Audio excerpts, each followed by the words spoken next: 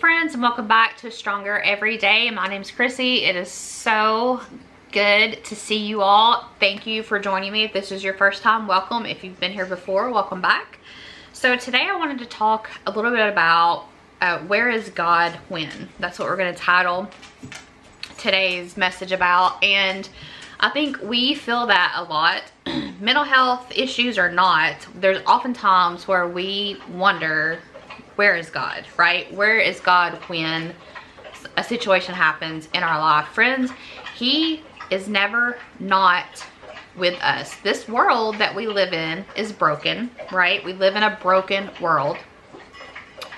God does not have us here as little puppets, so he can't make us um, behave a certain way. He can handle some situations, but, you know, he's not a, a dictator sitting up in heaven and telling us how to act and how to behave. We ruined this world in Genesis, right? We didn't even make it out of the first book of the Bible before we introduced sin into our life. And so because of that, because of that happening, and I'm talking about the Adam and Eve and the apple and the devil, because of that happening, this world is a broken world. We have people that have free will. They do what they want. We have people that even in even in those times didn't believe in God, didn't believe, you know, they don't believe in him now. I mean, it's just it's it's a broken world. We live in a broken world. But if you are a child of God, God is always with you. He's never not with you. I want to use an example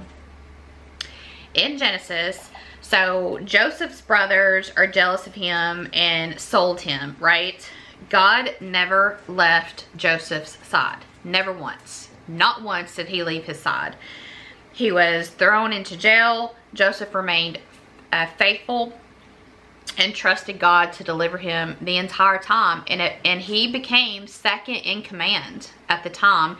He protected Egypt from famine and he also helped his same brothers that were jealous and hated him and sold him. He protected them in that time of famine too. So just the redemptive quality in just that story alone. God never left Joseph. Were things done to him that were unfair? Of course, right? Um, situations happen. People, people reacted certain ways. People's um, pride and their, their flesh made them do certain things. But God never left Joseph's side. Situations happened that weren't fair to him. God was always with him. And I think that's important for us to understand. Do I always feel God with me? No. However, I know he's always there. And I've used this very basic analogy. I don't always feel my ears. I don't always feel my lungs. I don't always feel my heart. I don't feel my kneecaps, right? But I know they're there and doing what they're supposed to do. Now, sometimes, depending on if you have arthritis or not, or heart problems or whatever, you get my drift though, right? I don't know, I don't feel my ears, but I know they're there working. I don't feel my lungs, but I know that they're in there going up and down, keeping me breathing, right? God's always with us, regardless if we feel him or not. Um, I've talked in detail that some of the times that I felt God the most and just felt him right there with me was when I was in the depths of depression and anxiety and, and in that pit struggling because he was literally wrapped around me carrying me you know i mean just holding me in his arms and protecting me.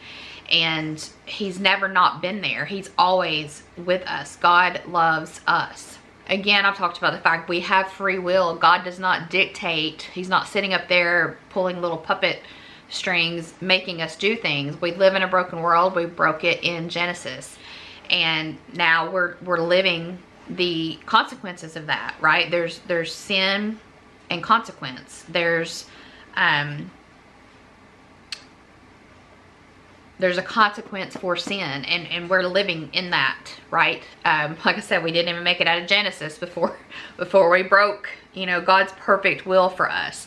And so you know, I know for certain that it's, you know, there's a lot of times that you're, that bad things are happening, um, you know, horrible things that are happening and, and, and our instinct is to think, God, where are you? He's right there with you. I know I heard someone talk about a story about a gentleman that had lost his son and um, he had prayed about it and said, you know, he was angry. He said, God, where were you when my son was murdered? Where were you at when he, when this, this happened to him? Where were you, God? And God said, I was in the exact same place I was when I watched my son, when I watched it happen to my son. You know, he's not, he's not oblivious. He knows exactly what we're going through. Um, when we get to heaven, we'll get we'll be in that perfect world but until we get there there's trials and tribulations we are told we are told that as christians you will have trials and tribulations but fear not god has overcome the world right bad things happen you know i don't understand why murders happen. I don't understand why sex trafficking happens. I don't understand why abuse of anyone happens. Babies, elderly, women, men. I don't understand that. I can't comprehend that. Animals. I don't understand that. I can't comprehend abusing an animal. I don't understand molestation. I don't understand rape. I don't understand incest. I don't understand why these things happen. I don't understand why disease happens. I don't understand totally, really, and, and still to this day don't, why any illness happens. Mental illness being the one that we deal with. Um, I don't understand that. Now, I do understand more now why that's happened to me and why I've dealt with it for the past 28 plus years because God wanted me to help others. And it's not that he gave it to me, right? It's not that God gave me mental illness so that um, I could live like this for, for 28 years, but it is a result of things that have happened and it's a result of, there's a, a whole thing of, of what can potentially cause mental illness. Um, they still don't know the exact cause of any mental illness, but there's a lot of possibilities out there. And whatever those happen to be has has given me this cross to bear and carry and you know I consider myself blessed that a year and a half ago he said I want you to help others. You know I, I was in the floor crying and he said I want you to help others. That's, I want you to take what's happened and turn your pain into purpose. And that's huge because he didn't have to tell me that. I could have went my whole life not knowing. That's huge that he that he first and foremost chose me right? And then that he let me know you know what my what my purpose was and that you know the ability to go help others. And it's hard friends. It's hard talking being this open and raw and vulnerable with you guys and telling you that I've struggled with suicide. I've attempted suicide multiple times. That I've struggled with depression, major depression disorder, and anxiety for over 28 and a half years. That I'm not perfect. I'm not happy-go-lucky 24-7. I'm not um, a bubble of joy every day, you know, that I'm me. I'm, I'm the best version of me I can be. And, and on, on the daily basis, I would say I, I, I let I, I, let either myself or, or, or someone or, or I still have it in my mind that I, I let God down and I'm, I'm working on that. That, you know, God loves me because God is love. There's nothing that I can do today that's going to earn any more love than I've had the entire time I've been with God. Like there's there's there's nothing that I can do that's going to earn that or make right wrongs that I've done in the past. God loves me because he is love. One of the points I wanted to bring out is is that God never abandons us. He would never stop loving us. He can't because God is love the sea, the ocean is the sea, right? It just is. It is the sea. It's the ocean, right? The sky is the sky. It just is. That's how it is. The ground is the ground. That's just how it is. God is love. That's just how it is, right? There's there's things that are not going to change. Um I I end all of my videos and I, I say the same thing every video. It's it's always my heart and hope that people understand and feel this. And it's like I say, God loves you, I love you, your family loves you, your friends love you, and we need you here. Um, do I mean that every single person loves you? No. I know that God loves you, that I love you, right? I know that at least somebody in your family loves you and that some some of your friends love you i think we get to a point where we feel like we're unlovable and no one loves us how could they love us you know, I'm not saying that because I had a question about this is why I'm bringing this up. You know, someone who's abusing you, right? Whether it's physically, mentally, emotionally, um, that's not love, right? That's, that's, um, not what I'm talking about here. What I'm talking about is that because of the fact that you struggle with any of the mental illnesses out there, that doesn't mean that you're not worthy of love from God first and foremost, right? Uh, I love you. There's somebody in your family who truly loves you, whether they have a hard time showing it or not. And I've talked in detail about, not in detail, I filmed the video and then I didn't like I didn't like it, so I, am I'm, I'm going to refilm it at a later time. But I've talked in detail about my mom. Um, we had a bad relationship. We struggled a lot. She struggled with mental health, and at the time we didn't know it until I was already out of the out of the home but she loved us. She loved me my brother and my dad with every ounce that she had to give. She gave every ounce of the love she had. Was that the love we needed or was that enough? No. But that doesn't mean that she didn't love us. She loved us to her ability right? Everybody can't live up to the ability that you that you need or that you deserve or that you demand or that you want. Sometimes you have to understand people are imperfect and the love that you're needing is not the love they can provide. That only comes from God. The love that you're that we are needing only comes from God, friends.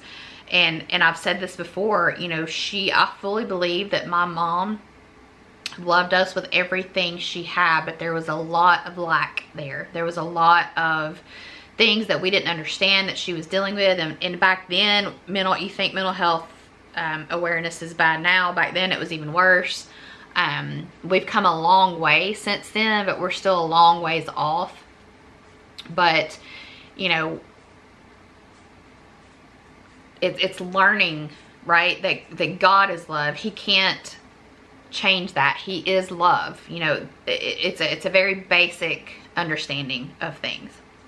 I think I think what happens sometimes is we get so focused on life, right? We get so focused on work, on school, on chores, on events, on hobbies, on extracurricular activities, on, you know, if, if your kid's in sports or in band or in um, 4-H or in FFA or, or, whatever whatever it looks like, right? If, if you're in, you know, we've talked that Nick volunteers for two agencies outside of working a full-time job. I volunteer for one.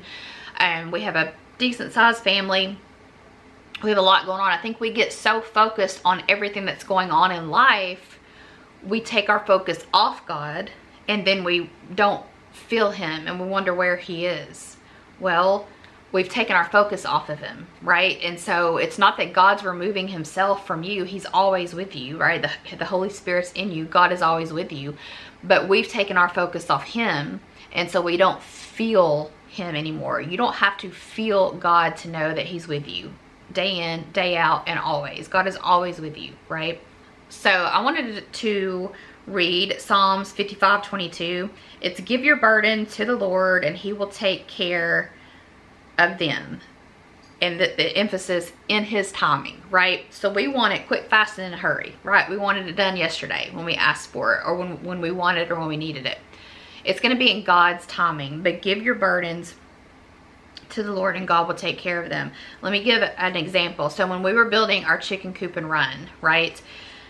It's 8 by 16 and then 8 by 16 so the the run is 8 by 16 the coop is 8 by 16 during the day if if we're home the girls are free ranging. So they're in the the one of the two goat pastures with the goats. But I had it I had envisioned we we we looked at plans we studied plans we looked at different ways to do things. And I that project drug on and on and on and on. It took us about probably 50 to 60 hours to get that project complete. We built it obviously from the ground up. We built it ourselves. We dug out a foot under the coop and put hardware mesh, which if you're not familiar with any of this, the coop is just basically, ours is basically a box. It's, it's a big box, but it's a box.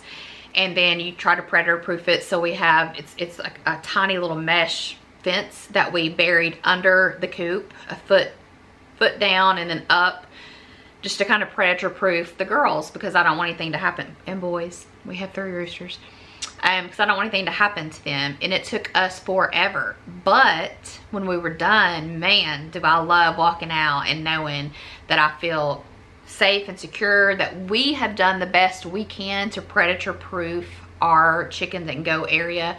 Um, and to see the finish, to see the progress, to see that the end result is amazing, right? Did I love it? Because we built it in, in June. it's hot in Tennessee in June. We built it in June and July. Um, super hot in Tennessee, um, like super hot.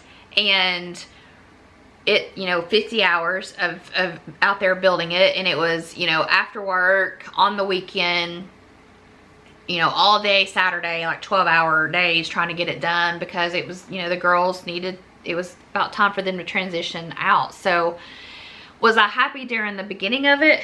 No, but I wanted it done quick, fast, in a hurry, right? But, and I'm referencing this back, when you give your burden to the Lord and he handles it, you can look back and see that blessing of what it is. I go out there every single day and I smile, right? I love seeing my girls, I call them all girls. We have a boy goat and we have three roosters, but I still call them girls. Um, when we go out and I see the chickens and the goats just excited, they come running up, they're happy to see you. They're, you know, we're talking back and forth with each other. A lot of the chickens know their names. Um, yes, I name my chickens. They're all, uh, I had to put little bands on their their feet so that I could tell them apart because a lot of them look very similar. We have 17 Delaware chickens and so they all look very similar. And so it's it's hard to tell them apart without putting a little band on their leg so that I can tell who it is. But a lot of them know their names. It's just I look back at that project that I dreaded every day going out there to to get it done because it was it was hot right and exhausting. It was hard labor work. And that area where the chicken coop is is clay. I mean, it's red clay. You dig about that far under the ground. If you can see that, about that far into the ground, it's clay, all clay. And it's hard digging through some clay. But we got it done and I walk out there every day and I love it. It's, it's, I wanted the chicken coop, I wanted the chickens and I wanted it done now, you know, but it took God's time for us to get it done. And then I walk out and I get to enjoy that all the time. So I hope that makes sense. I hope my mind, I don't know, my mind sometimes is a little different. I was talking to Nick last night on the way home and he was talking about how my mind, he's like, I don't know that analytical is the right word, but the way that you process things and you think our minds do that. Um, a lot of people that struggle with mental illness, you take a situation and you process that situation, you think about that situation, you that situation's on repeat in your mind and you have 700 different possible outcomes of it that no one else has even thought about. you know, that's how my mind works on pretty much everything. That's why sometimes it's hard doing this channel um, because sometimes you get comments that aren't um, now, I don't mind if, if, there's a comment that you disagree with something I say. We're, we're human. We all have our own opinions. We don't have to have the same opinion for us to like each other and respect each other. But I'm talking about the um, more mean-spirited comments um, that don't really have anything to do with the channel or, or what the channel's about. Um, those are hard because I can talk to people all day and have really good experiences talking to you all and just to be real honest, that's that's a gift to talk to you guys. But then it's that one comment that kind of rotates in my mind, right? And so that's just something I'm dealing with, something I'm learning with, um, something I, that God's helping me through because the old Chrissy would want to just throw in the towel and, and cry and withdraw and hide, and that's not what I'm called to do. So even if even if there's somebody that's not has doesn't have the best intentions, that's between them and God because I know what God's called me to do. So Hope that helps. I hope that makes sense. Um, we will see you guys in the next one. Again, it's every Monday and Thursday at 10 a.m. Central Time. Uh, we're up to, you know, doing the two videos a week now. And so we will see you guys in the next one. Friends, I end every video this way. God loves you. I love you. Your family loves you. Your friends love you. And we need you here. We'll see you in the next one, guys. Bye.